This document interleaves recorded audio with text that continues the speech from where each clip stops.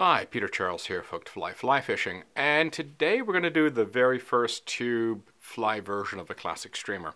And since it was a long-time favorite of mine, in fact it was the very first fly I caught a fish on, it's the Black Ghost streamer. So we're going to start with that as our tube fly version.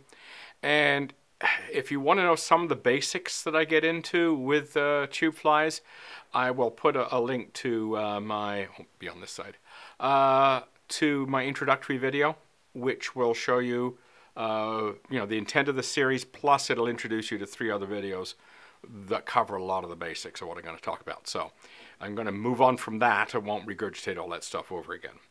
Now, the thing about doing classic streamers on tubes is that you will have to make some adjustments on how you put them together, the proportions, uh, things like how you handle tails and that sort of thing. So we're going to get started, and uh, as I'll talk about the differences as I go.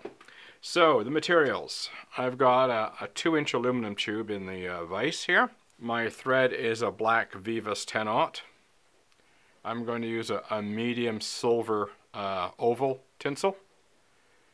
My tag is going to be uh, yellow floss and this replaces the yellow tail. The body is black yarn. You could also use black floss too, your choice. I'm going to use yellow, yellow saddle hackle for the uh, collar. Uh, it's uh, tied as a throat or a collar. Let's take a look at the original here. Um, you can see that it has a tail and uh, yellow tail and uh, the yellow throat. Because this is a tube, I'm going to tie throats generally as collars instead of throats. Uh, I don't like the idea of putting a throat on a tube because it can tend to make it want to go be a little tippy. So we'll go with the collar uh, the wing is going to be basically the same, the, the, good old white bucktail. So let's get going. Okay, let's get the thread started.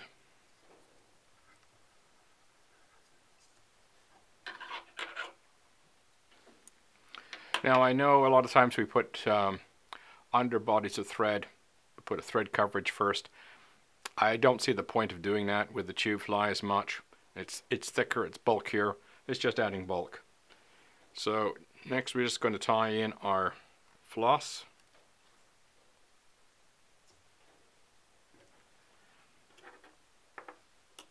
And then our rib.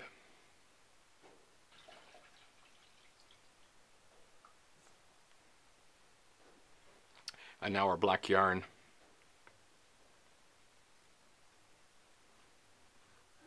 Now we just wind all that back. We keep everything on top.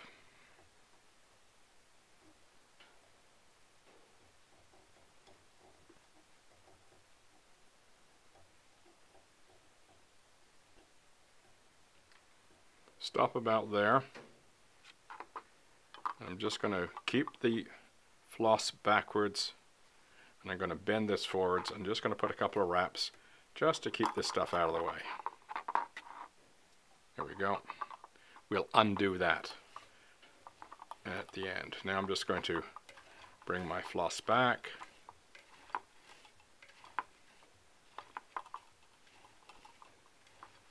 Come forward.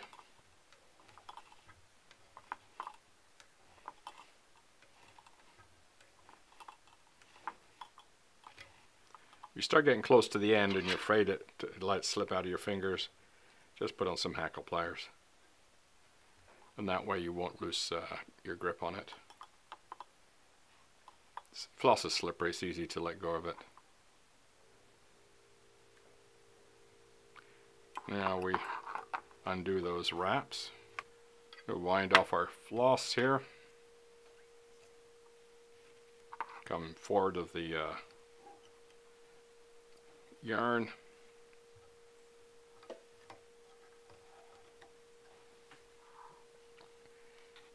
Now I move back with the yarn, cover up any little bits there, then come forward.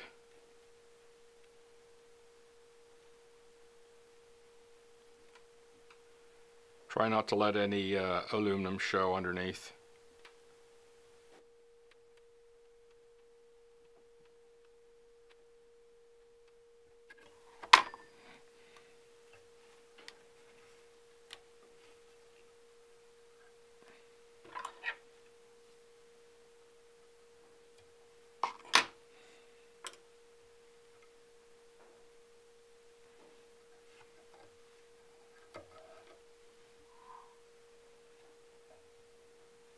For our rib.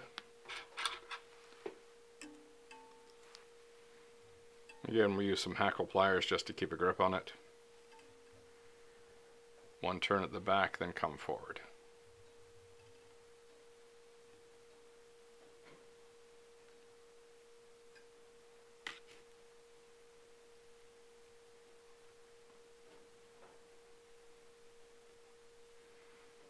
Now for our yellow saddle hackle.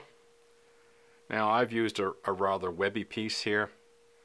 Your choice, you can use uh, saddle hackle that's rather spiky, or you could use this webby stuff. This is more like schlappen actually. Uh, it's labeled uh, saddle hackle, but it comes off a lot more like schlappen. So I've got my little tying in point that I've just cut.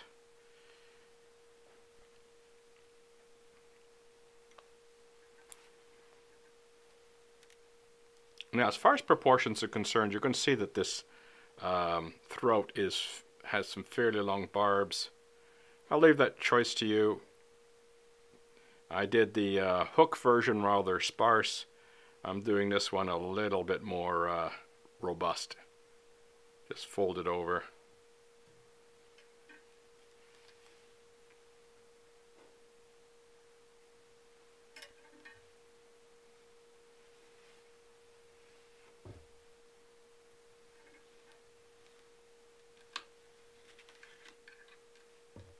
Finding it not folding properly, just back up. Take your time. Here we go.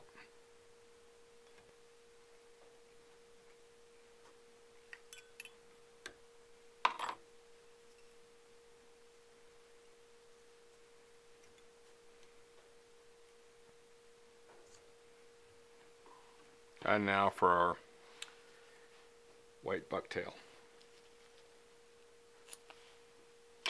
I'm going to strip out the short stuff. The, the hook point will be roughly where uh, my fingernail is, so I'm going to leave it about that length. It's going to cut it off there. And we'll just use a pinch loop. Another one, another one. There we go. Let's clean that up at first.